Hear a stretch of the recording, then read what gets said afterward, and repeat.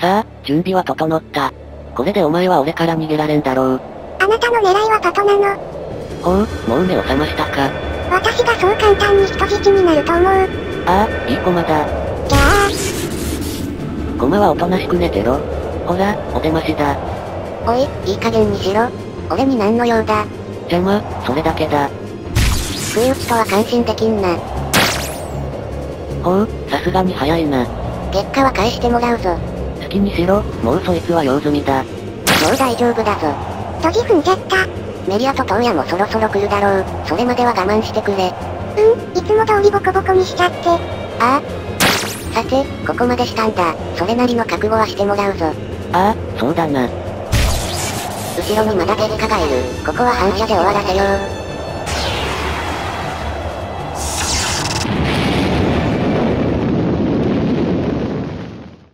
お前が初めてだよ。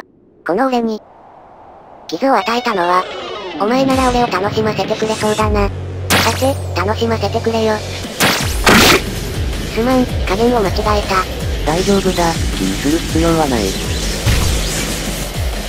なんだその力は、反応しないぞ。まさか頂点の神でもわからんものがあるとはな。これでもダメか。次は無事で攻めよう。武器なんか俺に届くわけないだろ。邪魔だ。そういえば聞いてなかったな。お前の目的は何だ？邪魔者の出生、それだけだ。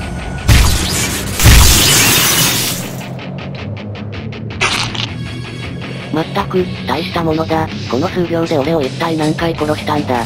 やはり、直接戦っても手も足も出ないってことだな。おそらくリオもそれは分かっていたはず。なるほど、つまりそういうことか。どうした？もう戦意喪失か。お前、楽しんでいるな。ここまでのことをした俺を相手に悪意一つなく楽しんでいるな。悪意、なんだそれは。そうか、わかったぞ。俺の攻撃がお前に届いていた理由。俺の悪意を支配する能力がお前にとって最悪の相性だったということだ。悪意だと。俺の全ての悪意、お前に授けよう。そんなもの、また受け流してやるまでだ。な、なんだ、なんだこの感情は。なんでどんどん入ってくる。くそ、おかしくなる。あ、あ、あ、や、やめろ。俺の中に入ってくるんじゃねえよ。こ、これでいいんだろいよいよ。この先は俺たちでもわからない未知の領域だ。さあ、何が出てくるど、どういうことなんでご主人がダメージを受けているのなんでご主人が苦しそうな顔をしているのな、なんでご主人相手にあいつは満足に立っているの一体どんな裏技を使ったっていうの？初めて見た、あいつがあんな苦しそうな顔をしているのを。待て、あれは、月下。ご主人、なんでだろう？すごく嫌な予感がする。どうだ、この俺の悪意。長年の時間をかけ、世界中の悪意を集めた我の力。今、お前の中に一気に全世界の悪意が取り込まれたはずだ。どうだ、それがお前の知らなかった悪意というものだ。どうせ、生まれてから嫉妬することもなく、誰かに殺意に近い悪意を受けることもなく、のうのうと下の連中のことも考えずに生きてきたんだろう。それがお前の支配するであろう世界の全てだ。身に刻め、そして後悔しろ、それが世界の感情だ。うるせえな。あんまりごちゃごちゃ言ってんじゃねえよ。お前の目、その目だ。悪意に、負のエネルギーに汚染された目。今のお前からは神聖の気配は感じられんな。そうか、それより知ってるか。お前が俺に悪意をくれたおかげで俺はお前を完全に理解したぞ。なるほど、それでどうするつもりだ？わかってるだろ？消えろ。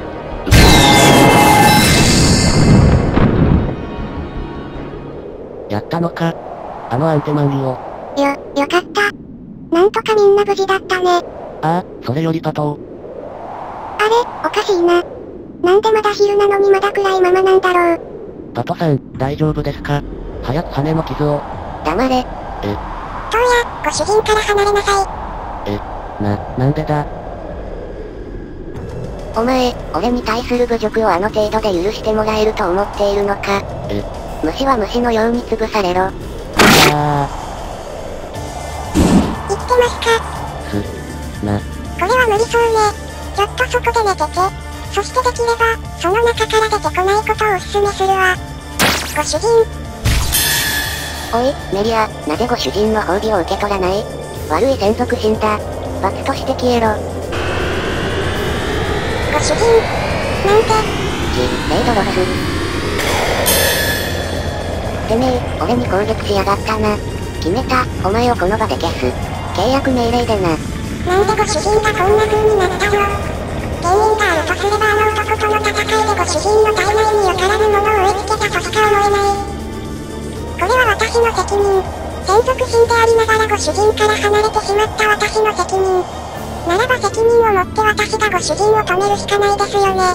申し訳ございません。私今から、あなたを殺す気で止めます。